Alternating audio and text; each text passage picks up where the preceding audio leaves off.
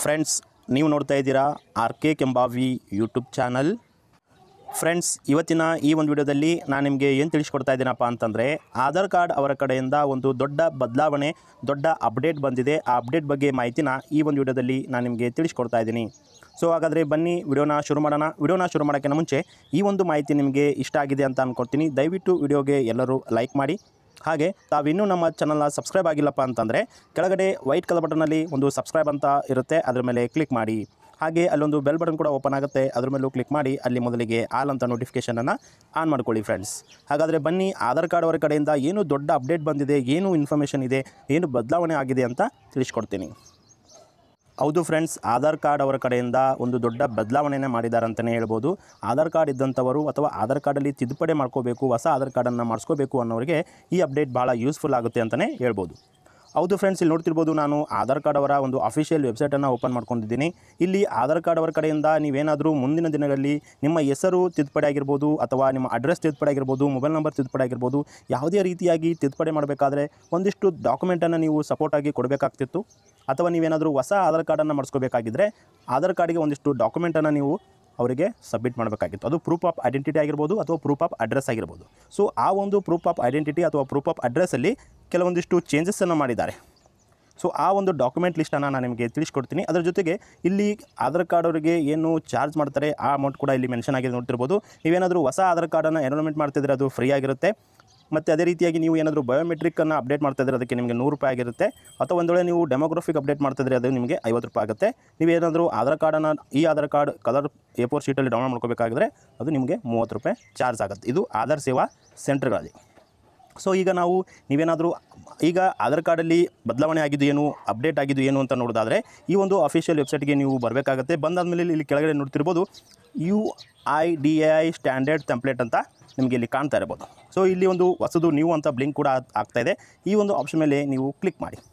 ಈ ಒಂದು ಆಪ್ಷನ್ ಮೇಲೆ ಕ್ಲಿಕ್ ಮಾಡಿದಾಗ ನಿಮಗೆ ಆ ಒಂದು ಆಧಾರ್ ಕಾರ್ಡಲ್ಲಿ ಏನು ಡಾಕ್ಯುಮೆಂಟ್ಸ್ಗಳು ಚೇಂಜಸ್ ಆಗಿದೆ ಅಂತ ಹೇಳಿದ್ದೀನಿ. ಇಲ್ಲಿ ಡೇಟ್ ಕೂಡ ನೋಡ್ಬೋದು ಲಿಸ್ಟನ್ನು ಇದರಲ್ಲಿ ಕಾಣ್ಬೋದು. ಇಪ್ಪತ್ತಾರು ಜನವರಿ ಎರಡು ಸಾವಿರದ ಇಪ್ಪತ್ತ್ಮೂರರಿಂದ ಈ ಡಾಕ್ಯುಮೆಂಟ್ಸ್ಗಳು ಎಕ್ಸೆಪ್ಟ್ ಮಾಡ್ತಾರೆ. ಸೊ ಇಲ್ಲಿ ಐದು ವರ್ಷಕ್ಕಿಂತ ಒಳಗಿರೋ ಮಕ್ಕಳ ಒಂದು ಯಾವ ರೀತಿಯಾಗಿ ಹೊಸ ಆಧಾರ್ ಕಾರ್ಡ್ ಮಾಡಿಸಬೇಕು, ಅವರ ಡಾಕ್ಯುಮೆಂಟ್ ಲಿಸ್ಟ್ ಇದೆ. ಅದೇ ರೀತಿಯಾಗಿ ಐದು ವರ್ಷಕ್ಕಿಂತ ಕೆಳಗಡೆ ಇರುವಂಥವ್ರಿಗೆ ಅಂದರೆ ಮೇಲ್ಗಡೆ ಇರುವಂಥವ್ರಿಗೆ ಆಧಾರ್ ಕಾರ್ಡ್, ಹೊಸ ಆಧಾರ್ ಕಾರ್ಡ್ ಅಪ್ಡೇಟ್ ಮಾಡಬೇಕಾದ್ರೆ ಏನೇ ಡಾಕ್ಯುಮೆಂಟ್ಸ್ ಇದೆ, ಆ ಲಿಸ್ಟನ್ನು ನೀವು ನೋಡ್ಬೋದು. ಅದೇ ರೀತಿಯಾಗಿ ನೀವೇನಾದರೂ ನೀವೇನಾದರೂ ಆಧಾರ್ ಕಾರ್ಡ್ದಲ್ಲಿ ಅಪ್ಡೇಟನ್ನು ಮಾಡಿಸ್ಕೋಬೇಕಪ್ಪ ಅಂತಂದರೆ ಎಲ್ಲ ಗ್ರೂಪ್ದವರಿಗೆ ಸಪೋರ್ಟಿಂಗ್ ಡಾಕ್ಯುಮೆಂಟ್ಸ್ ಏನೇನು ಹತ್ತುತ್ತೆ ಅನ್ನೋದು ಕೂಡ ಇಲ್ಲಿ ಈ ಲಿಸ್ಟಲ್ಲಿ ನೀವು ನೋಡ್ಬೋದು. ಅದರ ಜೊತೆಗೆ ಇಲ್ಲಿ ನೀವು ಒಂದು ಮಾಡೆಲ್ ಯಾವ ರೀತಿಯಾಗಿ ಒಂದು ಆಧಾರ್ ಕಾರ್ಡನ್ನು ನೀವು ಫಿಲ್ಅಪ್ ಮಾಡಬೇಕು ಅನ್ನೋದ್ರ ಬಗ್ಗೆ ಕೂಡ ಇಲ್ಲಿ ಅವರು ಫಿಲ್ ಮಾಡಿದ ಒಂದು ಸರ್ಟಿಫಿಕೇಟ್ ಕೂಡ ಇದೆ. ಆ ಈ ರೀತಿಯಾಗಿ ನೀವು ಫಿಲ್ಅಪ್ ಮಾಡಿ ಒಂದು ಸೈನನ್ನು ತೊಗೊಂಡು ಇದು ನೀವು ಆಧಾರ್ ಕಾರ್ಡ್ ಎನ್ರೋಲ್ಮೆಂಟ್ ಆಗಿರ್ಬೋದು ಅಥವಾ ಆಧಾರ್ ಕಾರ್ಡ್ ತಿದ್ದುಪಡಿಯಲ್ಲಿ ನೀವು ಮಾಡ್ಬೋದು.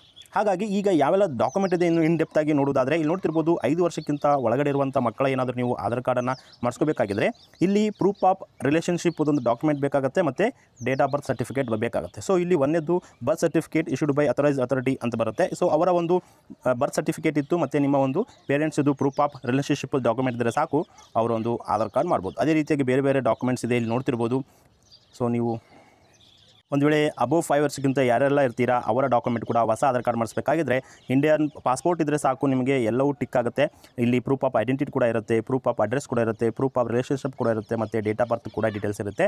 ಅದು ಎಲ್ಲವೂ ಕೂಡ ಟಿಕ್ ಆಗಿದ್ರೆ ಅದು ಒಂದು ಡಾಕ್ಯುಮೆಂಟ್ ಇದ್ದರೆ ಸಾಕು, ನಿಮಗೆ ಆಧಾರ್ ಕಾರ್ಡ್ ಈಸಿ ಆಗುತ್ತೆ. ನೀವು ಒಂಥರ ನಿಮ್ಮ ಹತ್ರ ಒಂದೇ ಒಂದು ಡಾಕ್ಯುಮೆಂಟ್ ಬೇರೆ ಏನಾದರೂ ಇತ್ತಪ್ಪ ಅಂತಂದರೆ, ಯಾವೆಲ್ಲ ಟಿಕ್ ಆಗಿದೆ, ನಿಮಗೆ ನಾಲ್ಕು ರೀತಿಯ ಡಾಕ್ಯುಮೆಂಟ್ ಬೇಕು, ಒಂದು ಪ್ರೂಫ್ ಆಫ್ ಐಡೆಂಟಿಟಿ ನೀವು ಅಲ್ಲಿ ನಿಮ್ಮ ಹೆಸರು ಇರಬೇಕು ಮತ್ತು ನಿಮ್ಮ ಒಂದು ಫೋಟೋಗ್ರಾಫ್ ಇರುವಂಥ ಡಾಕ್ಯುಮೆಂಟ್ ಒಂದು ಬೇಕಾಗುತ್ತೆ. ಇನ್ನೊಂದು ಪ್ರೂಫ್ ಆಫ್ ಅಡ್ರೆಸ್ ಅಲ್ಲಿ ನಿಮ್ಮ ಒಂದು ಅಡ್ರೆಸ್ಸನ್ನು ಡೀಟೇಲ್ಸ್ನ ಇರಬೇಕಾಗುತ್ತೆ. ಆ ಡಾಕ್ಯುಮೆಂಟ್ನ ತೊಗೋಬೋದು. ಫಾರ್ ಎಕ್ಸಾಂಪಲ್ ಡ್ರೈವಿಂಗ್ ಲೈಸೆನ್ಸ್ ಇದ್ದರೆ ಇಲ್ಲಿ ಡ್ರೈವಿಂಗ್ ಲೈಸೆನ್ಸಲ್ಲಿ ನಿಮ್ಮ ಫೋಟೋ ಮತ್ತು ನೇಮ್ ಇರುತ್ತೆ.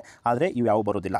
ಒಂದು ವೇಳೆ ವೋಟರ್ ಐ ಡಿ ಕಾರ್ಡ್ ತೊಗೊಂಡ್ರೆ ನಿಮಗೆ ಎರಡು ರೀತಿಯಾಗಿ ಬರುತ್ತೆ. ಒಂದು proof of photo and identity photo and ಆ ಫೋಟೋ ಇರುತ್ತೆ ಅಡ್ರೆಸ್ ಇರುತ್ತೆ. ಆದರೆ ನಿಮ್ಮ ಇದು ಇಲ್ಲ. ಏನೋ ಪ್ರೂಫ್ ಆಫ್ ರಿಲೇಷನ್ಶಿಪ್ ಇರಲ್ಲ ಮತ್ತು ಡೇಟ್ ಆಫ್ ಬರ್ತ್ ಅದರಲ್ಲಿ ಕರೆಕ್ಟ್ ಇರೋದಿಲ್ಲ. ಹೀಗಾಗಿ ನೀವು ಯಾವ ರೀತಿಯಾಗಿ ಸರ್ಟಿಫಿಕೇಟ್ ತೊಗೋಬೇಕು, ಏನೇನು ಟಿಕ್ ಆಗಿದೆ, ಆ ರೀತಿ ಸರ್ಟಿಫಿಕೇಟ್ ತೊಗೊಂಡು ಹೋಗಿ ನೀವು ಆಧಾರ್ ಕಾರ್ಡನ್ನು ಮಾಡಿಸ್ಬೋದು. ಅದೇ ರೀತಿಯಾಗಿ ಇಲ್ಲಿ ಕೆಳಗಡೆ ನೀವೇನಾದರೂ ಆಧಾರ್ ಕಾರ್ಡಲ್ಲಿ ತಿದ್ದುಪಡಿ ಮಾಡಿಸ್ಕೋಬೇಕು ಅಂತ ಅಂದ್ಕೊಂಡಿದ್ರೆ ಅಪ್ಡೇಟ್ ಮಾಡಿಸ್ಕೋಬೇಕಂತಂದರೆ ಅಲ್ಲಿ ಆ ಒಂದು ಡಾಕ್ಯುಮೆಂಟ್ಸ್ ಕೂಡ ಲಿಸ್ಟಲ್ಲಿ ನೋಡ್ಬೋದು. ಇಂಡಿಯಾ ಪಾಸ್ಪೋರ್ಟ್ ಇದ್ದರೆ ಅದು ಕೂಡ ನೀವು ಟಿಕ್ ಮಾಡ್ಕೋಬೋದು, ಅದು ಅಪ್ಡೇಟ್ ಮಾಡ್ಕೋಬೋದು.